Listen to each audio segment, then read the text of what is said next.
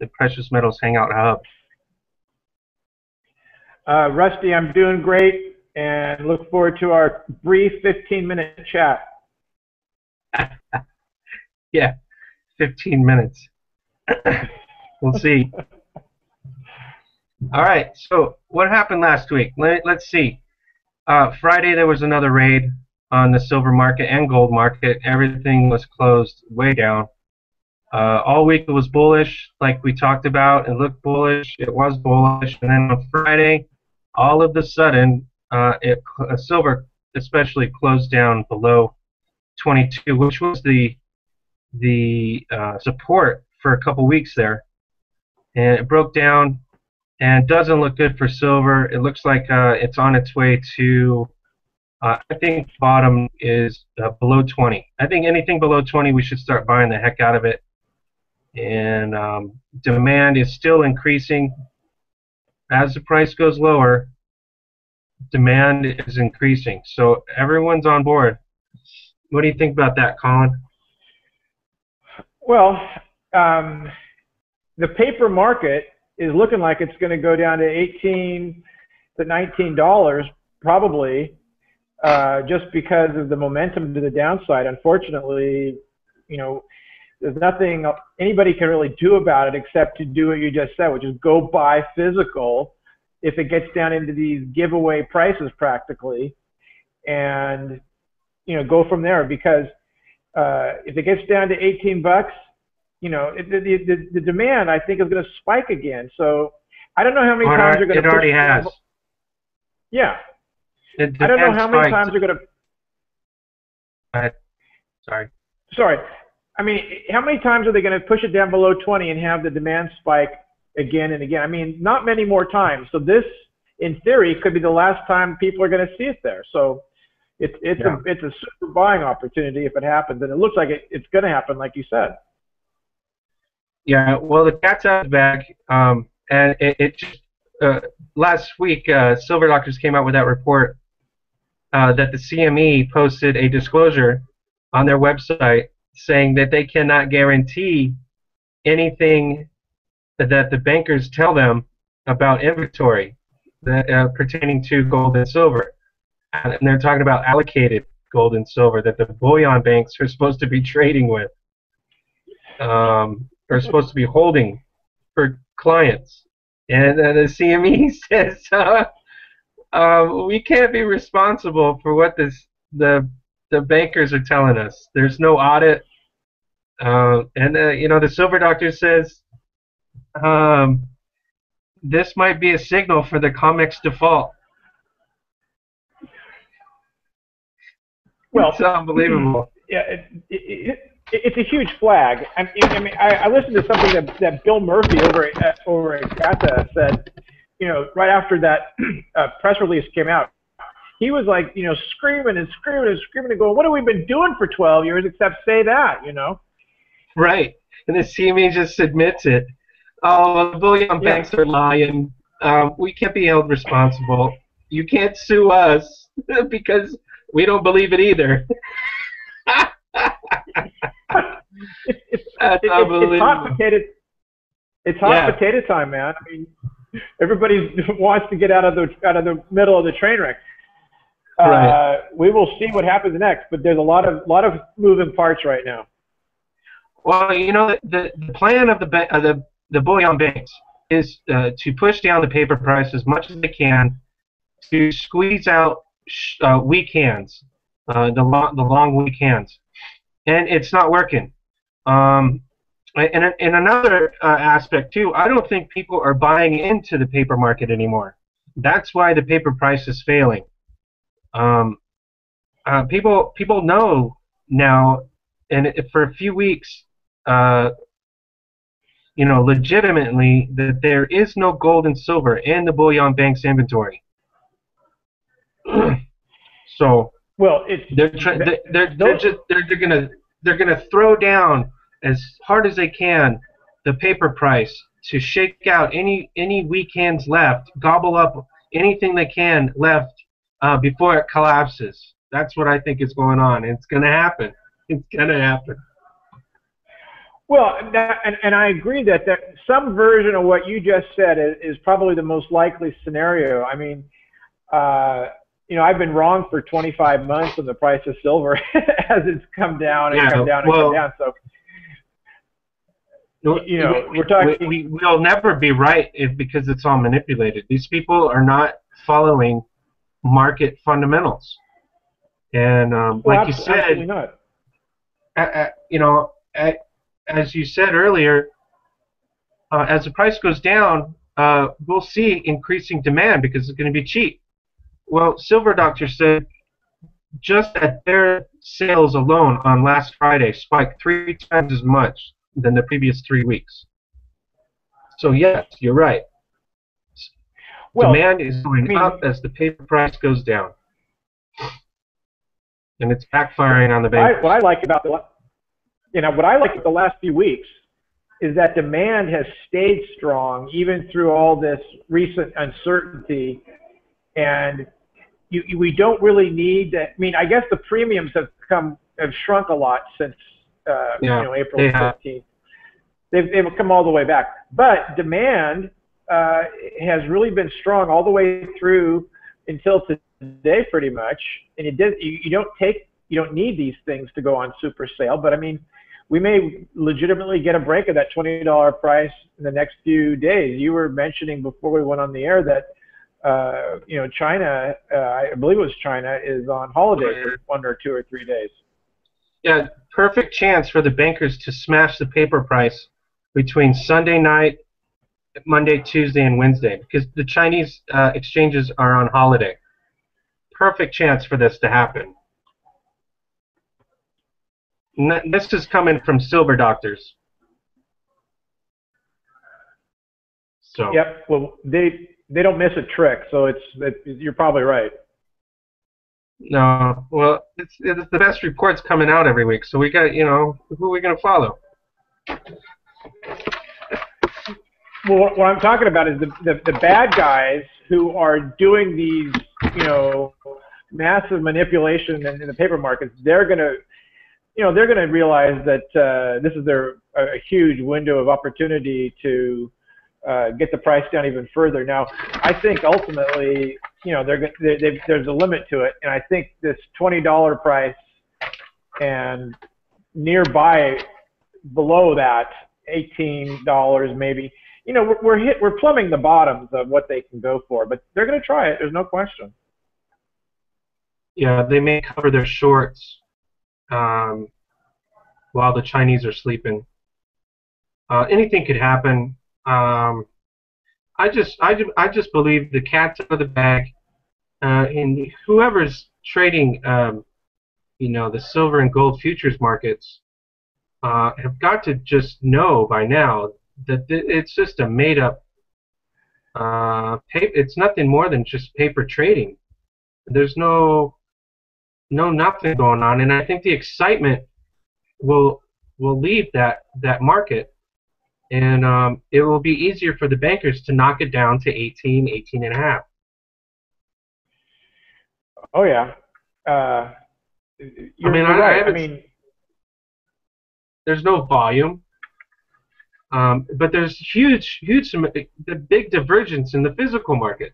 Huge amounts of demand even on friday when they smashed it below 22 silver doctor said even just in their uh, their dealership alone was three times as much volume. And everybody knows they got to pick this stuff up because sooner or later the comex is going to uh, go away and the, the spot price is going to be um, reviewed by the uh, Shanghai exchange because it's backed by by the real stuff. So I think the I think the game's over for the COMEX.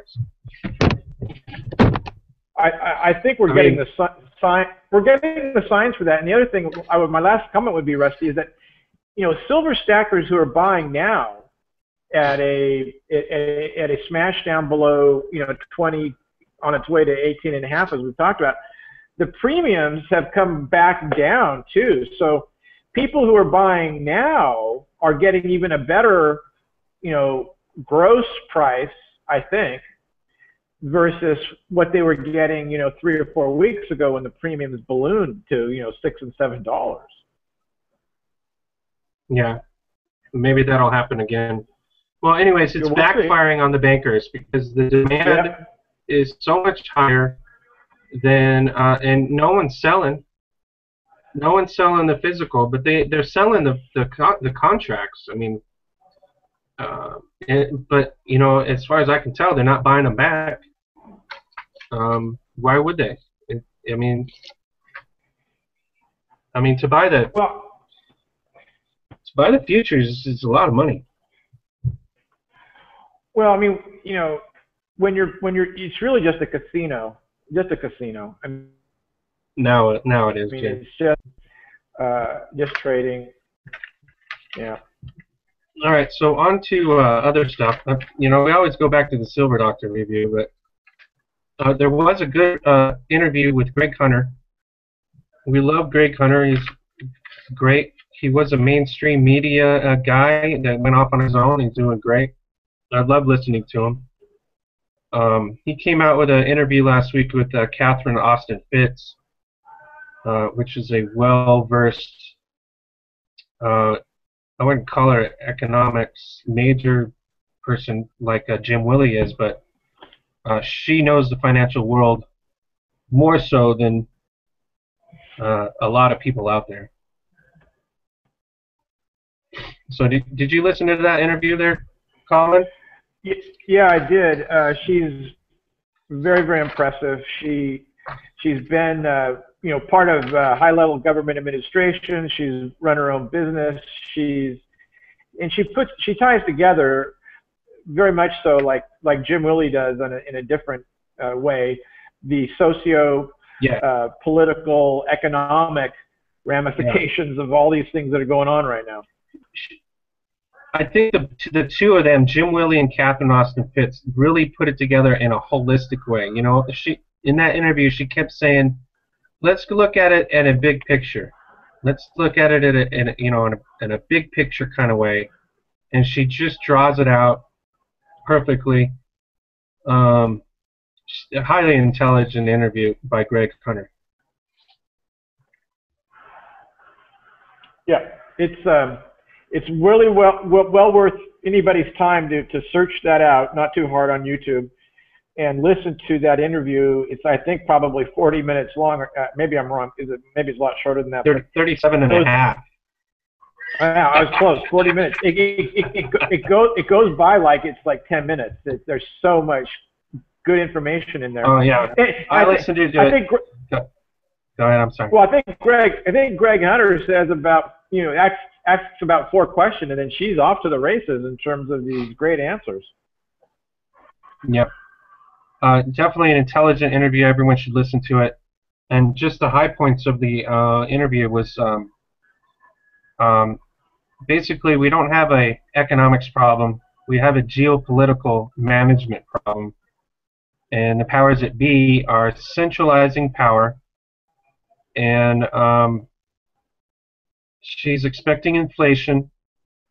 Um, and she wants everyone to the, the interview is jam packed with information. I have I listened to it three times and I got four pages of notes. There's no way to get through it all. Um, but basically, uh, what at the end of the interview, she wants everyone to uh, realize that something is, you know, something's wrong out there. Inflation's going to be coming, and whether who you ever, whoever you listen to, or whatever you believe, uh, you have to take care of your yourself and your your home. She wants to make sure that you know if you have if you have to pay for water, uh, sell some stock and buy a well. Uh, you know, uh, take care of, of things that you have to take care of your liabilities because when inflation hits, if you have all these liabilities on your uh, balance sheets, you're not going to be able to um, to toe the line. Uh, you know, get a garden. Um, I like the aquaponics. Uh, do you know anything about aquaponics there? I'm, I'm, I'm certainly aware of it, and I've seen some really lab, elaborate setups, and um, Uh, but it's been a few years since I was intimate with anything like that. I know that you've tried to set up some uh, uh, sites yourself, right? Well, we have a, a friend of mine uh, helped me build a, a greenhouse, and so we have a greenhouse. Um, but inside the greenhouse, you can put a, a fish tank, and uh, what aquaponics is basically is uh, the water is filtered to from the fish tank, pumped into the garden, and it's full of nitrates. The, the plants love it, feeding, and the water filters through a little system of you know uh, filtering out all the uh, all the crap, and pure water comes out and back into the fish tank. So the fish tank, the fish flourish, and then the nitrates goes into the uh, garden and um, I've seen a lot of this lately. Aquaponics for survivalists. Uh, it's not very complicated. You just need a um, you need some area. Uh, I, I've seen some people put it even even in their city apartment uh, room. Uh, you know, an extra room in their apartments in the cities. It doesn't take a lot of room. Uh, the garden flourishes so much because of the nitrates coming from the fish tank, and you uh, you know a five 500 gallon tank of, of water, I think that you can have a couple hundred fish in there. And so people are just, uh, they're eating fish and fresh vegetables every night. I think it's a wonderful idea. And that's exactly what Catherine Austin Fitts was talking about. You just got to, if, if you're paying for food, you know, figure out how not to pay for food. You know, th- she said it's not for everybody, of course. Uh, and she said gold and silver isn't in for everybody either. She's what did she say? She said, uh, if you need a gun to protect it, it's worth having. I think that's the way she put it. Yeah, she she decked around gold and silver quite a bit, which was she would uh, she would admit to actually go and buy gold and silver. She skirted around it. She didn't want to be in that boat, I guess. Well, I, I think mainly she wanted to she wanted to make sure everyone knew that there was more important things than just gold and silver. That's that's what I that's what I really think. Well, I, I think a combination of your idea of getting prepared in, in, in a way that you can legitimately uh, prepare yourself with uh, aquaponics or uh, you know if you are if you're able to have your own garden all these things are you know probably legitimately uh, higher on the, the scale of than having gold or silver where you're having to go out and buy stuff uh, or find people who you can buy it from. And so I think that's what she's talking about, Rusty. She's talking about, you know, you know, you know, prioritizing and uh, making sure that you're aware that you're going to be have a problem with particularly inflation because 99% of the people in this country are not aware that they're going to have a big problem with inflation and that's the issue uh, if they've got themselves set up to uh, be able to, uh, you know, solve some of their problems either by, you know, stacking the peanut butter jar in the in the pantry as much as you can, as well as stacking silver, you know, you're you're ahead of the game. You, you, people have to, you know, research and figure out what all these small things they can do to make themselves better prepared. Yeah.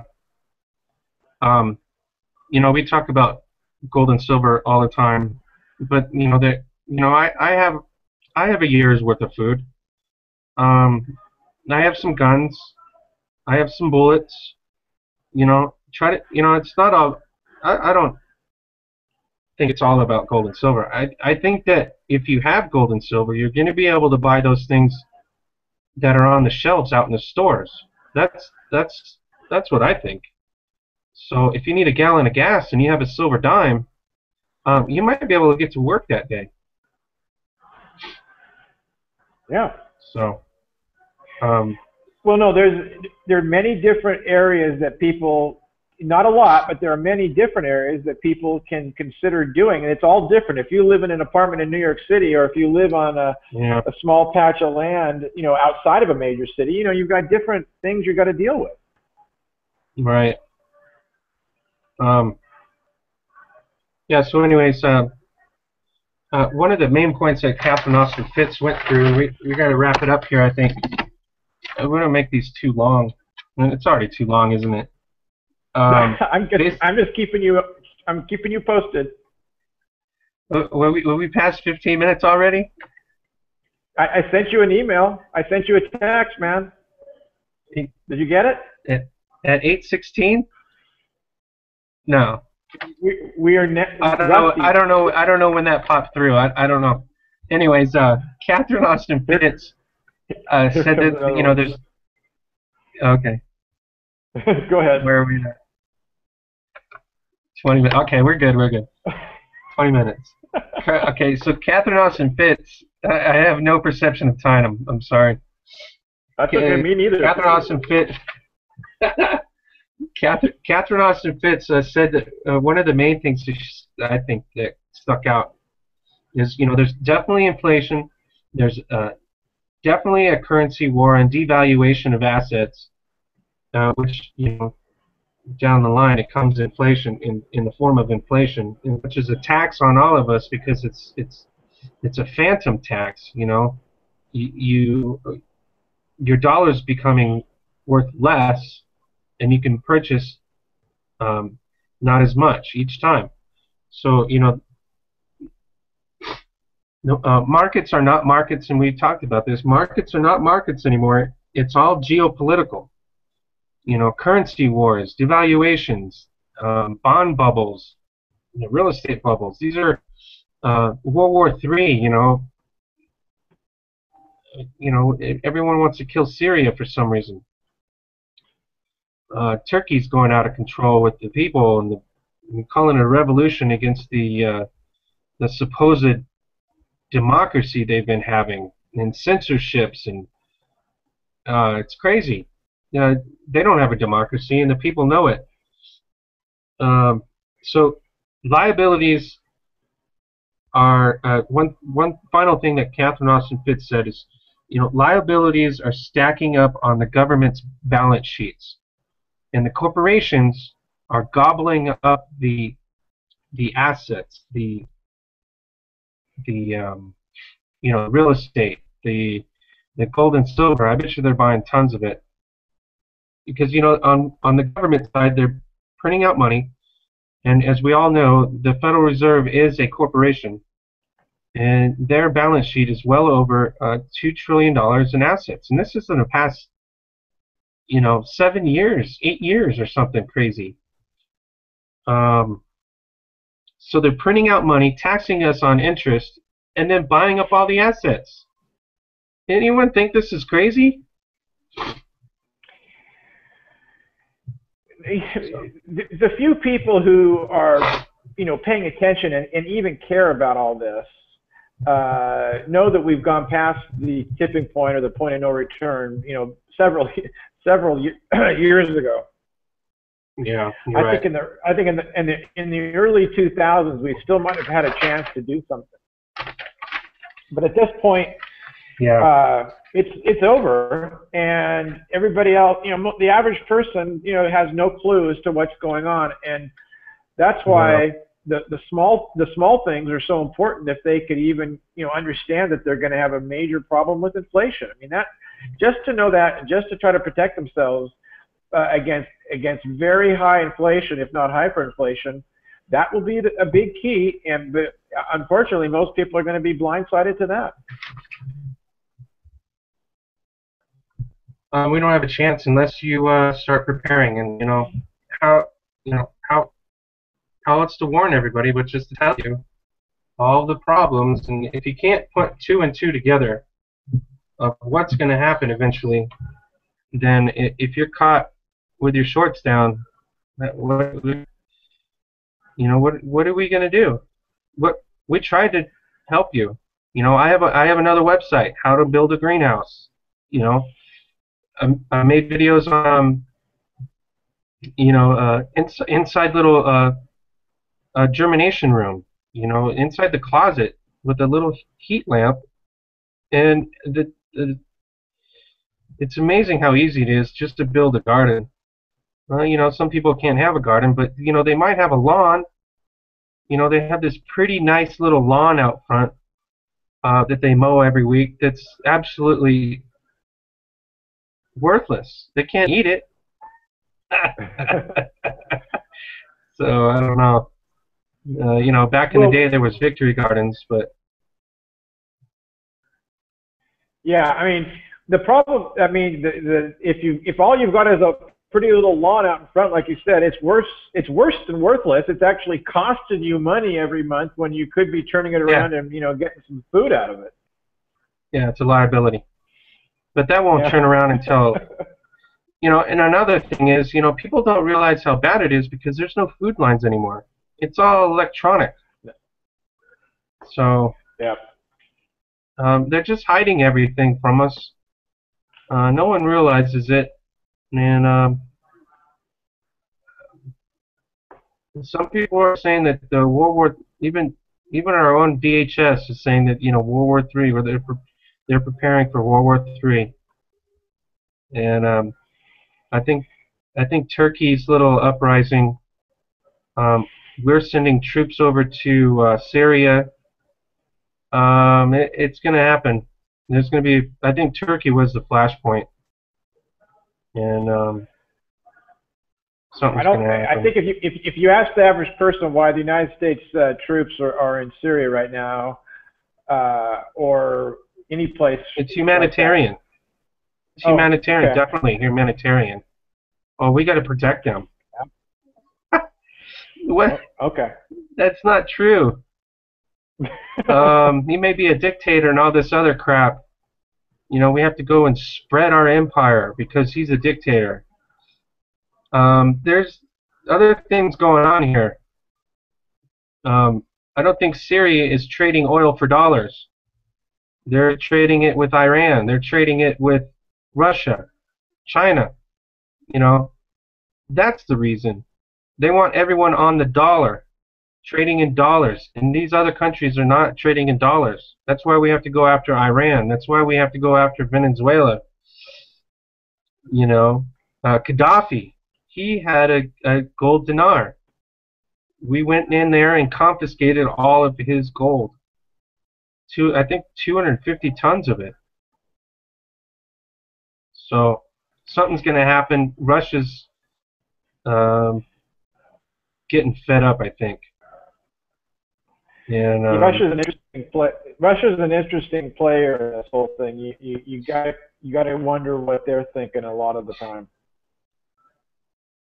yeah, but I, I don't understand the fact that you know, oh, hate Russia, hate Russia, no, hate the Al Qaeda, hate you know, hate the Muslims, uh, Russia, Muslim, China, hate them all, hate them all, hate them for what? Uh, because they're not going along with your little Ponzi scheme? Really? God, it, I don't, it, I don't get it. Where do, how do we come to this point where we have to force people to use our dollar, our debt? It's crazy. Anyways, we gotta go, man. Oh, what? That's all. I know that. There, my my answer to you, Rusty, is that that's all we got left is forcing people to use the dollar. If they want, if it voluntarily, Yeah. it would be totally in the trash can. No. Yeah, exactly. We have to force them. It's the only thing left. And actually, the bankers' only option is a war. That is the only racket that they make uh, tons and tons of money on because they're selling to both sides of the war. Uh, they're loaning out huge amounts of money and they're collecting huge amounts through productivity of weapons supplies and all sorts of crap. It's their only, it's their Oh, yeah, last well- best racket. And, and I think I was telling you that I, I just listened to an interview by uh, Dr. Paul Craig Roberts. He said that the Afghanistan and the Iraq War were minimum three trillion dollar cost each. Yeah. I don't know. Uh, it. Someone, please go out and make a garden. Uh, buy some silver. Get a gun. Uh, the S is going to hit the fan. It, it's it, it's getting it's getting close. You're right. It this can't keep up. And um, I don't know. That's all I got. Yeah, I mean, it's. I, I would just end with the fact that we are getting. If you can't really tell by just living your daily life that it's getting close to just simple inflation uh, taken off. I've talked to friends recently. They're they're now they're now seeing things in the stores where the prices just jumped big time, uh, and they hadn't noticed that until just recently. So Yeah. uh, Well, you know, They they make it so it just creeps up, creeping, creeping, and then all of a sudden you wake up and like bread's three dollars. What? exactly. Um, uh, you know, a block of cheese. I think at Walmart. Um, you know, average cheese, a big block of it was uh, seventeen dollars. I'm like, Gosh. you kidding me?